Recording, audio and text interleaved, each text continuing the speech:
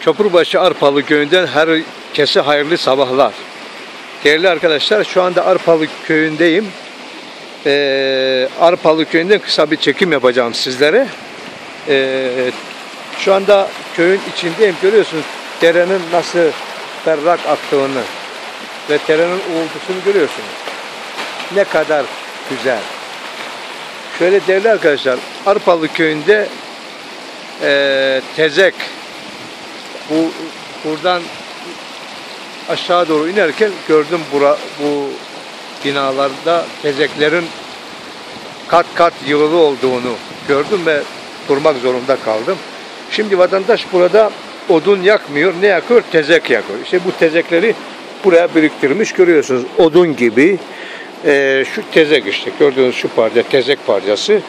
Ee, acaba bunun kalıbı var mı onu da bilmiyorum. Ee, görüyorsunuz tezekler yığmış, yığmışlar buraya. Ee, burada herhalde kanaatimce Arbalı köyünde tezekle birlikte e, odu, sobayı yakıyorlar. Odun kullanmıyorlar. E, şimdi gelelim buraya. Burada olan tezekleri görüyorsun. Ne kadar tezek yığmış buraya. Tezekleri görüyorsunuz değerli arkadaşlar. Bunlar hepsi tezek.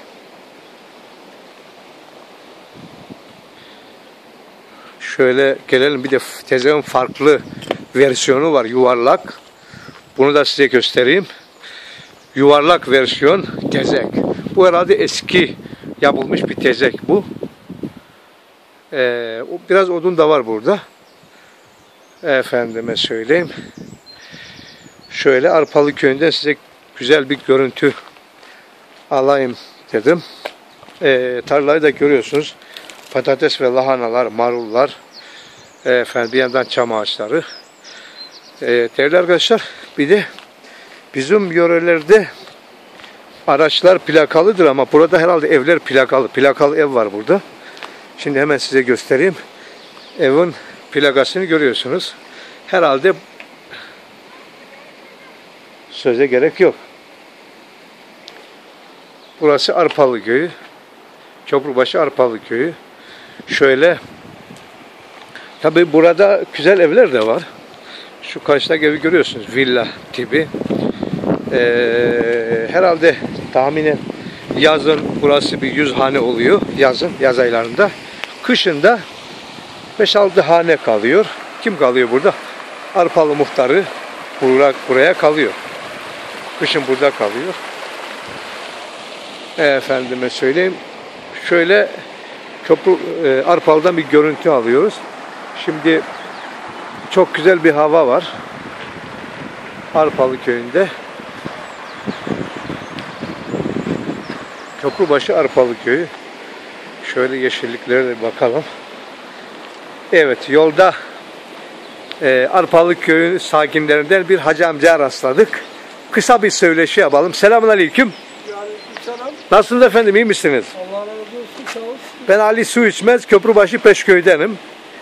Müslümanlardansın. evet. Kamburlardan bir köyden. Öyle mi? Ee, yaz aylarında burada ikamet ediyorsunuz, doğru mu? Nerede ikamet ediyorsunuz siz? İstanbul. İstanbul, İstanbul Güngören'de ikamet ediyorsunuz. Yazın kaç ay kalıyorsunuz burada? Bazen 6 ay bazen 5 ay belli oluyor. Seviyor musunuz burayı? Seviyorum. Seviyorsunuz. Efendim e, burada kış aylarında kaç hane var? Kış aylarında burada 4 tane. Dört hane var kış ay. Yazın tüm evler doluyor. E, Çok güzel. Aşağı yukarı aşağı yukarı. Çok güzel bir köyünüz var. Hakikaten çok güzel bir köyünüz var. Bunlar torunlar mı efendim? Bunların hepsi torun.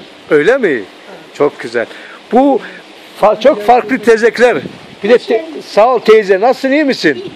Nereden geliyorsun teyze? İneği mi sağdın? Evet. Köprü başından bu. Ö- öyle mi? Kimlerden köprü başında? Avcılardan. Avcılardan. Ha, Loman avcı vardı köprü başında rahmetli. Amca- Babamın amcasının oğlu. Öyle mi? Ben de Beşköy'denim. Değil mi? Evet evet. Bu da 50 senelik gelmişler burada Belediyenin bu köyde. şoförü var ya köprü başında. Hı hı. Onlar biliyorsun. Öyle mi? Ey maşallah. İyi. Ee, bu ev kimin bu ev? Bu Hacı Ali var eski şoför. Hacı Ali burada mı? Hacı Ali evdedir herhalde. Arabası burada olduğuna göre. Evde mi? Ne yapıyor? Yatıyordur, Hem, rahatsızdır. hem iyi Allah acil şifa versin. Evet. Hacı Ali Hadi Allah'tan acil şifalar diliyoruz. Ee, eski Arpalı muhtarı efendime söyleyeyim. Değerli arkadaşlar e, bugünlük de Arpalı Köyü'nden sizlere kısa görüntüler aldım. İnşallah bir dahaki sefere tekrar sizlere çekimler yapacağım. Allah'a emanet olun.